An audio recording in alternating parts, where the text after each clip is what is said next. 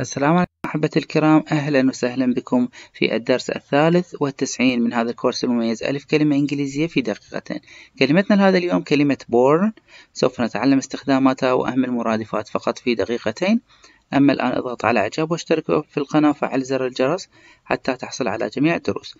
ولا تنسى مشاركة هذا الفيديو في جميع وسائل التواصل الاجتماعي. فنحن نضع في هذا الكورس الكثير من الجهد والوقت. شكرا لك على مشاركتك هذا الفيديو أيضا في نهاية هذه الحلقة.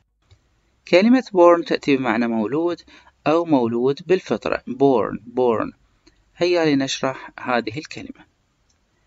Existing as a result of birth.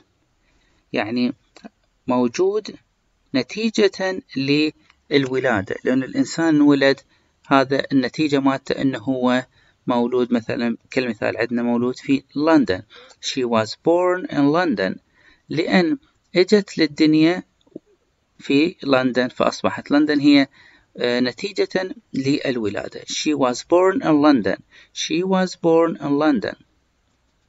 ولدت في لندن ركز على المعنى للجملة هذه وحاول أن تحفظها She was born in London She was born in London مثال الثاني having a specific nationality having a specific nationality إنه الشخص عنده آه، هوية معينة لدولة معينة a German born philosopher A German-born philosopher فيلسوف ألماني المولد ولد في ألمانيا فيلسوف مولود في ألمانيا A German-born philosopher A German-born philosopher philosopher يعني فيلسوف German-born مولود في ألمانيا أو فيلسوف ألماني having a natural ability to do a particular job having a natural ability to do particular job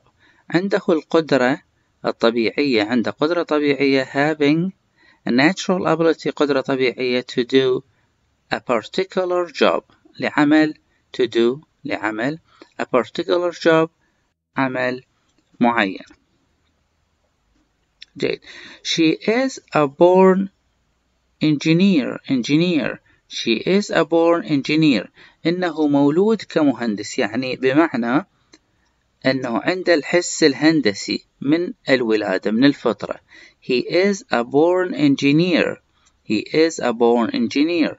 يعني مولود كمهندس يعني عنده حس الهندسة من البداية من الولادة. ممتاز. He is a born engineer. Born born. أهم مرادفات كلمة born by birth by birth بالولادة. Native native فطري.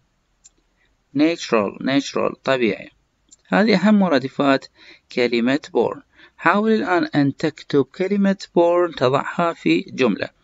ضع كلمة born في جملة واكتبها في التعليق أسفل. هذا الفيديو حتى يستفاد منها الآخرون أيضا. لا تنسى أن تكرر جميع العبارات بصوت مرتفع لكل عبارة خمس مرات حتى تتقنها بشكل جيد. وأيضا اكتبها في كراسك فهذا شيء مهم جدا.